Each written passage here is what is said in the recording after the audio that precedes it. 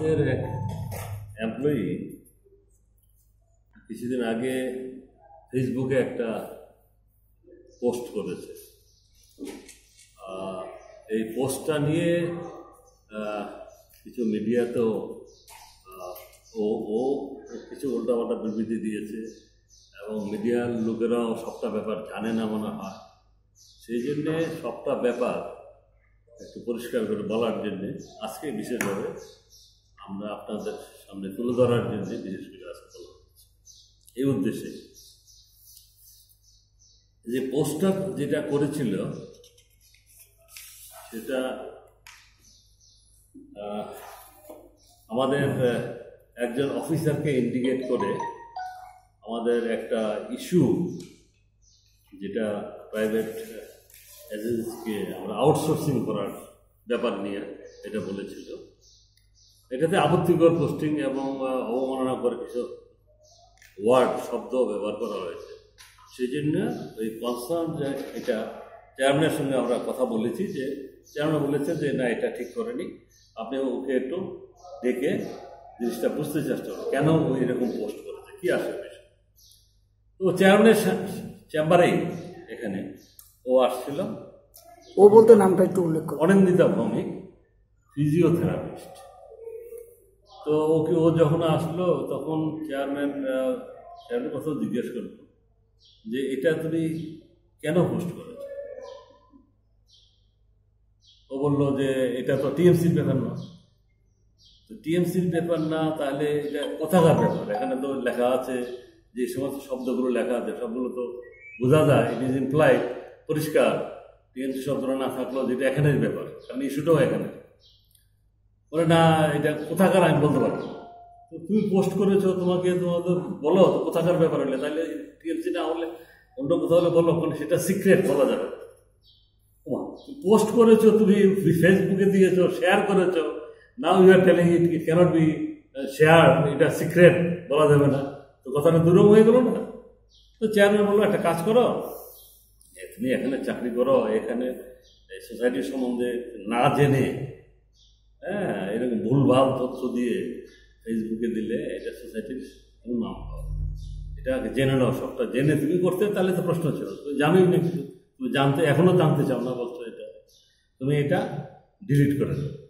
Delete করে দাও আর তুমি একটা কাগজ দিয়ে দাও যে ভুল করেছ সে চলে গেল। আর না, চলে যাওয়ার আগে চেয়ারম্যান বলছিল, জানো, তোমার বাবার সঙ্গে আমার কত দিনের পরিচয় তোমার বাবা যদি এটা জানে, খুব কষ্ট পাবে। এরকম করো না, এরকম করো না। হ্যাঁ? আর তোমার বাবার সঙ্গে ওনারও পরিচয় দীর্ঘদিনের। উনি ত্রিপুরাতে আছে, চাকরি করে। আমি বলছি হ্যাঁ তোমার বাবার সঙ্গে আমারও পরিচয় আছে। যে কথা এখানে শেষ হয়ে গেল। তারপরে চেয়ারম্যান বা কেউ বা কেউ, আমি জানি না, ওনার বাবার সঙ্গে হয়তো বা কথা হয়েছে। নিশ্চয়ই পরের দিন উনি আসছিলেন আমার এখানে চেম্বারে। ওর বাবা অরুণ ভৌমিক সাহেব আমার চেম্বারে আসছে। আমাকে এসে বলল যে, আমার মেয়ে নাকি এরকম একটা কি পোস্ট করেছে? আমাকে বলল, চেয়ারম্যান সাহেব। না, চেয়ারম্যান সাহেবের কথাই বলছে। এটা কি জিনিসটা কি? তা আমার মোবাইলে ছিল আমি এই একটা পোস্ট করেছে। সে, উনি এটা পড়েই বলল, আরে, মেয়েটা তো, মেয়েটাকে কেউ ইয়ে করেছে, চক্রান্ত করে মেয়েটাকে ফাঁসাচ্ছে। আচ্ছা আপনি চিন্তা করবেন না, এটা আমি দেখছি। আমি দেখছি, আপনি কোনো চিন্তা না। হ্যাঁ আপনার সঙ্গে আমার অনেক দিনের পরিচয়। ঠিক আছে ওখানে বসল, চাটা খেলো, চলে গেলেন। এর ঘণ্টা দুয়েক পর আফটার টু আওয়ার্স সেই অনিন্দিতা ভূমি আমার চেম্বারে আসছে। আমি বললাম, ওর বাবা বোধহয় নিশ্চয়ই কথা টথা কইছে। এতে বোধ সে তার ভুল বুঝতে পারছে।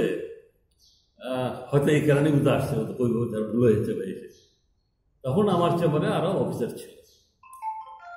সে আমি বললাম, আসো, বসো। না, আমি বসবো না, আমি ওইদিকে যাব। মানে ওদিকে মানে আমি এইদিকে বসলে আমার লাইট রাইট সাইড এসে আর তাই বলল, কি জানি? আবার এদিকে বসতে বললাম আমার ওদিকে যাবে। ওখানে গিয়েই ও রুদ্রমূর্তি ধরবে আঙুল তুলে এইভাবে, আমি আপনাকে দেখে দেব। আপনি আমার বাবাকে কেন কল করেছেন? আপনার কি অথরিটি আছে আপনাকে? আমি আপনাকে কোর্ট পর্যন্ত নিয়ে যাব। আপনাকে দেখিয়ে দেবে আপনি কত বড় হয়েছেন এসে he used any language. I was caught surprised. আমি বুঝলাম না কিছু, হঠাৎ করে। আমি বারবার বলছি, শুনো, তোমার বাবাকে আমি খবর দেইনি। তো বাবার সঙ্গে পরিচয় আছে বলে তো বাবাকে বলতে যাব কেন? ইউ আর এমপ্লয়ি তো বাবা তো এমপ্লয়ি না। তো বাবাকে আমি ডাকতে যাব কেন? আমি তোমার বাবাকে ডাকিনি। তোমার বাবা কোথেকে খবর পেয়ে এসছে, কে বলেছে আমি জানি না। দ্যাট আই ডোন্ট নো তুই আমাকে এরকম হুমকি টুমকি দিচ্ছ কেন? হোয়াট ইউ আর ডুইং আরে, এরকম এরকম করো না, যাও যাও। কিছুদিন ওখানে এরকম যা রেট আছে, এই রেটের বেশি চার্জ করা যাবে না। কারণ আমাদের লক্ষ্য পেশেন্ট যারা আসবে এখানে, যাদের সিটি স্ক্যান হবে, তারা যেন স্বল্প মূল্যে সিটি স্ক্যানটা করতে পারে। বাইরে যদি এটা সাতশো টাকা হয়, আমাদের এখানে যেন পাঁচশো টাকা করতে দিস ইজ আওয়ার অবজেক্টিভ মুনাফাই একমাত্র অবজেক্টিভ নয়। আবার লসও অবজেক্টিভে নয় তাহলে তো থাকবে না সোসাইটি সেই কারণে তারা যে রেটটা দিছে, এটা one point six it was not acceptable কেননা, আমরা হিসাব করে দেখছি যে ইলেকট্রিসিটির যে কনজামশন হয়, এই পয়সাটাই আসবে না। কাজে ইট ওয়াজ নট অ্যাকসেপ্টেবল এবার শোন টেরেসা যে রেট দিল টেরেসার যে রেটটা দিল, দেখা গেল তারা নিজস্ব রেট দিয়ে দিয়েছে। তাদের নিজস্ব রেট আমাদের রেট যেটা আছে, সাতশো, তারা দিয়েছে বারোশো। আমরা তো অ্যালাউ করব। না। কাউকে হসপিটাল আমাদের রেটে অ্যাকসেপ্ট করতে হবে। কাজে তারা তো এটা ভাইরাল করছে কাজে আর একটা প্রশ্নই নেই এটার মধ্যে। হ্যাঁ টু পয়েন্ট ইয়ার জায়গাতে একটু রেট তাদের চেয়ে হায়ার একটু রেট দিছে কিন্তু তারা নিজস্ব চার্জ করবে। হুইচ উই ক্যানট অ্যাকসেপ্ট কাজে এটি অ্যাকসেপ্ট না হওয়ার পরে সোসাইটি সোসাইটির মিটিং এটা প্লেস করা হবে সোসাইটি মিটিং হয়েছিল তারিখ? আছে যাই হোক ছয় এক ছয় এক জানুয়ারি ছয় তারিখ। সোসাইটি বলল যে, আমরা বললাম যে দেখো না, দুইটা অপশনে আছে। একবার কিনতে হবে, নাইলে আউটসোর্সিং করতে হবে। তো আউটসোর্সিং আমরা টেন্ডার করছিলাম দিস ইজ দি পজিশন এই ক্যালকুলেট করে দেখেছি এই হয় আর যদি আমরা ইয়েতে কিনি, তাইলে আমাদের কিনতে গেলেও কি লাগবে? Just for understanding of the media আপনাদের জন্য বোঝাতে বলছি। আমরা যদি সিটি স্ক্যান মেশিনটা মনে করেন সাড়ে তিন কোটি টাকা দিয়ে কিনি এটা স্লাইজ অনুযায়ী একটু ডিফারেন্স হয় কোনোটা সাড়ে তিন কোটি কোনোটা সাড়ে চার কোটি এরকম হতে পারে এক এক কোম্পানির একটা একটু বিষয় এটার আবার এএমসি করতে হয় সিএমসি করতে হয়। এটা এএমসি চার্জ আছে, পঁয়ত্রিশ লাখ, তিরিশ লাখ, ষাট লাখ, এক এক বছর। দেখা গেছে, এই যে সিটি স্ক্যান মেশিন যেটা নষ্ট হয়েছে, তার তিন গুণ টাকা আমরা এএমসি হিসেবে দিয়ে দিয়েছি মেনটেন করার জন্য। আর এই যে যে মেশিনে আবার যদি কিনি, আমরা সেই তিন কোটি, চার কোটি টাকা এটার যে দশ বছরে আমরা যে এএমসি বা সিএমসি বাবদ যে খরচ দেব, আর মেশিনটার যে কস্ট দেব, আর যেই টাকা আমরা দশ বছরে আমাদের রেট অনুযায়ী পাবো will be loser society will incur loss this is not acceptable মানে purchase is not viable financial কস্টের তো আছেই সোসাইটির গেলে আউটসোর্সিং বলা হয়? তখন তারা বলল ম্যানেজমেন্ট যে তুমি you call both the parties তো প্রথম সঞ্জীবনীটা ডাকা হইল সঞ্জীবনী ডেকে তারা রেট দিল রেটটা একটু বাড়াইলো। বাড়াইলো ইলেকট্রিক বিল বলল যে পুরা দেবো না ফিফটি পার্সেন্ট দেবো। তো আর যে রেটটা দিল এতেও আমাদের খরচ আসে না। খরচটাই আসে না। ও এদের আবার বলছে, আমাদের আমরা বলেছিলাম, আমাদের শর্ত অনেকগুলোই থাকে টেন্ডারে এর মধ্যে একটা যেমন আছে, আমাদের প্যাড ব্যবহার করতে হবে। মানে যে প্যাডটা ত্রিপুরা মেডিকেল কলেজ লেখা থাকবে, তোমার নাম লেখা থাকতে পারবে আমাদের লগোটা ব্যবহার করতে হবে। আমাদের কলেজে যে লোগো আছে, এই লগোটা ব্যবহার করতে হবে। তারা আপত্তি আছে। তারা এই লগো ব্যবহার করবে না। ইলেকট্রিক বিল ফিফটি পার্সেন্ট দেবে, এই রেট দেবে না this is not loss then আসলো Teresa Teresa offer the highest rate তারা they offer electric electric bill also electric বিলও দিতেছে বেয়ার করতে রাজি। এবং দেখো, offer the highest rate also this was found more preferable to the society and it was accordingly agreed to ঠিক আছে? এই পুরোটা ঠিক আছে এর মধ্যে?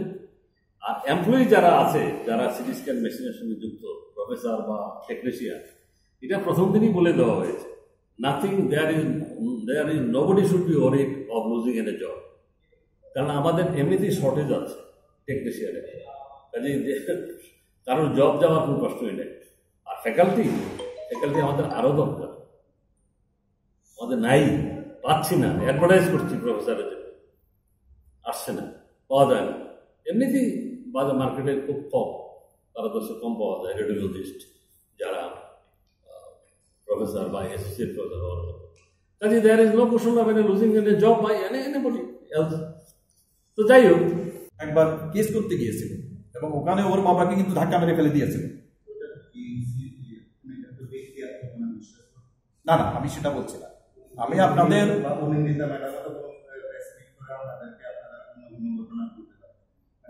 এটা এখানে বলছি না এটা আউট অফ দি যেখানে বলুন আমি বলছি ওর যে এর যে একটা এই মারাত্মক ধরনের যে ওর যে একটা ইয়ে মানে যে বয়স্কদের না মানা বা যারা যারা সিনিয়র আছে আমি যদি কোনো সংস্থায় কাজ করি আপনি পারবেন? আপনি আপনার যে মিডিয়া হাউসের যে প্রধান আছেন ওনাকে আপনি মুখে মুখে এভাবে থ্রেট করতে পারবেন? আমাদের সার্ভিস কন্ট্রাক্ট রুলস আছে।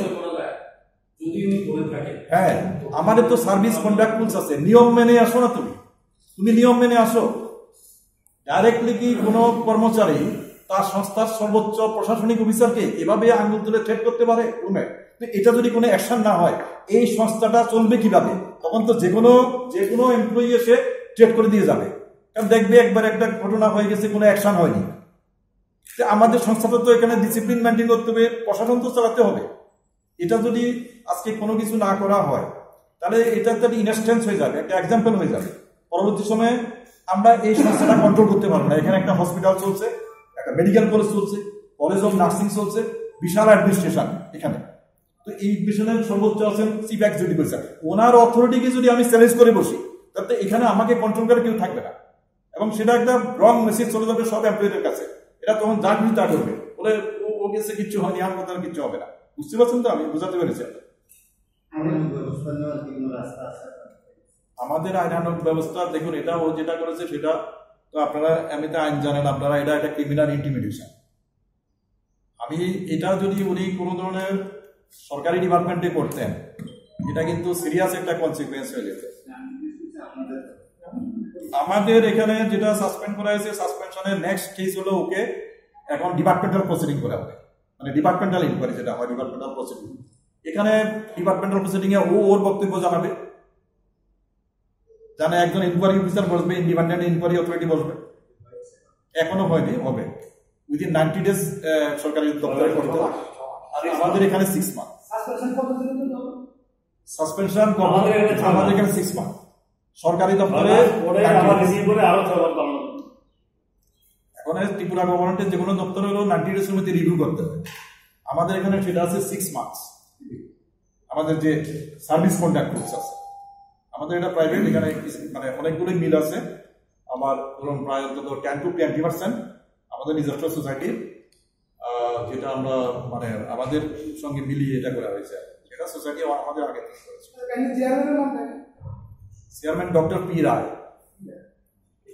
আমি এটা জানালাম চেয়ারম্যানকে জানাতে হয় যে ব্যাপার না দিস ইজ টু মাচ তারপরে আমরা এই ঘটনাটা আমরা ইনিশিয়ালি মনে করেছিলাম তাকে একটু শোকজ করতে।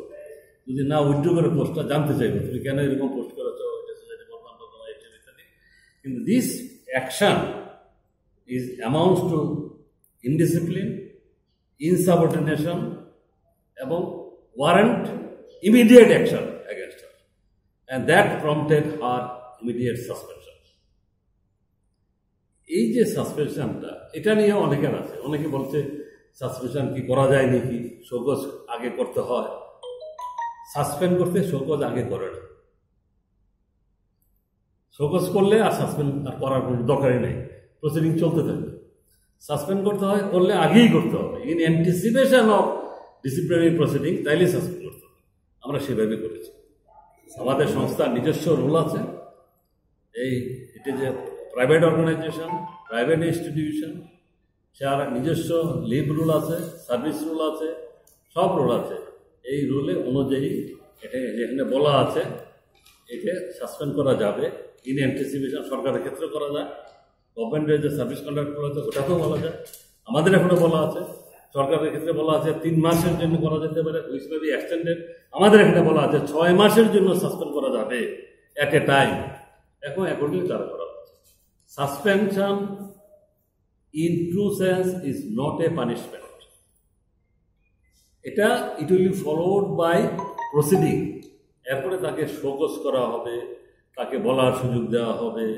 তারপরে যদি দেখা যায় না there are still merit in the case to proceed further তখন আবার সে দেওয়া হবে চার্জশিট করা হবে এনকোয়ারি অফিসার হবে।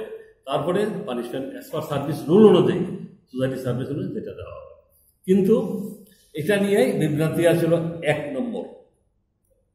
দুই নম্বর বিভ্রান্তি হচ্ছে যেটা নিয়ে হয়, যে ঘটনাটা কি? যেটা একটা মেশিন নিয়ে আউটসোর্স যে পোস্ট করেছে যেটা, এটা হচ্ছে সিটি স্ক্যান মেশিন আউটসোর্সিং নিয়ে। আমাদের সিটি স্ক্যান মেশিন যেটা আছে সোসাইটি এটার লাইফ টাইম চলে গেছে অনেক আগে। লাইফ টাইম চলে গেছে, এটা আগের থেকেই ডিস্টার্ব করতে আসছিল, অনেকদিন আমরা বারবার টাকা দিয়ে দিয়ে খালি রিপেয়ার করে যাই, আবার এক মাস পরেই। এক মাস চলে, দুই মাস নষ্ট হয়ে যায়। তো এটা করতে করতে পরে টেস্টিংয়ে ফাইনাল রিপোর্টে দেখা গেলো যে না, এটা আর ভায়াবল না। It has to be replaced এটা পুরানো মেশিন হয়ে গেছে, দশ বছরের মতো হয়ে গেছে। এটা লাইফ টাইম পেরিয়ে গেছে। এটা সিক্সটিন স্লাইজের মেশিন এখন ওর হায়ার স্পেসিফিকেশনের মেশিন বেরিয়ে গেছে। Sixty four hundred twenty eight machine বেরিয়ে গেছে। তাহলে আইদার এটা নিউ মেশিন কিনতে হবে অথবা আউটসোর্সিং করতে হবে। এছাড়া তো মেশিন লাগবে এছাড়া রোগী তো সার্ভিস দেওয়া যাবে না, পেশেন্টকে।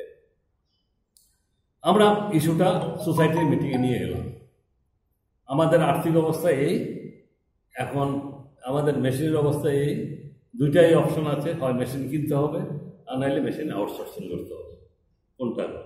তারা সব আর্থিক অবস্থা বিবেচনা করে দেবেন outsourcing is the best option তো আউটসোর্সিং করতে গেলে আমরা বলছে যে বিনা টেন্ডারে প্রথমেই কিন্তু লেখা আছে বিনা টেন্ডার আউটসোর্সিং করার জন্য আমরা সাধারণত এখন আমরা অন প্রিন্সিপাল নীতিগতভাবে আমরা এখন ই টেন্ডার করি অনলাইন টেন্ডার অনলাইন টেন্ডার করা হয়।